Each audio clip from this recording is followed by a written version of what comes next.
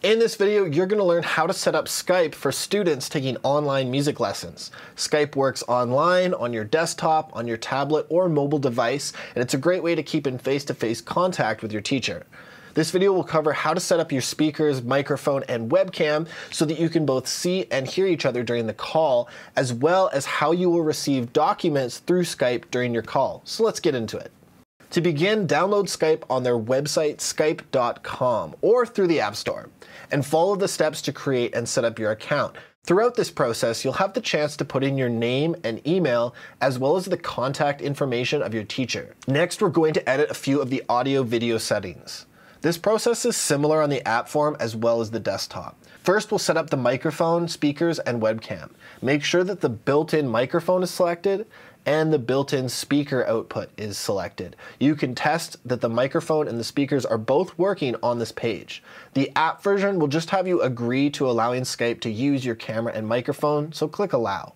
On the next page of the desktop, you can select your built-in FaceTime camera or an external webcam if available. Make sure this is angled to show your teacher a good view of the performance area. For guitar players and ukulele, that means having a good view of your picking and fretting hands so that your teacher can see your playing and provide comment on your technique. For piano, this means that the keyboard must be visible, and for vocalists, it's important to have your head and torso both visible so that your teacher can comment on your posture.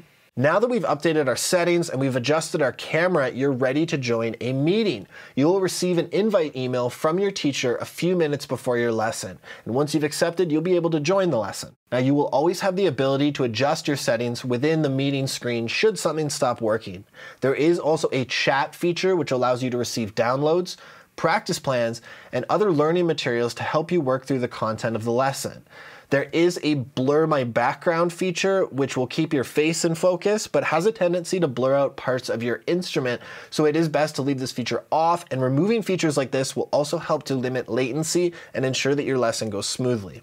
Once your lesson is finished, click to end the meeting and remember to check the chat for any files that your teacher may have shared with you. If you're having trouble with Skype or you just want a more straightforward method, you can always use the built-in FaceTime app on your tablet or mobile device.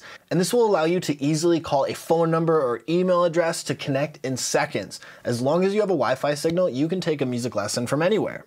For more tips and tricks on performing, songwriting, and other musical development, subscribe here to the Crescendo YouTube page to be notified when new videos are released. Thanks for watching this video and happy learning.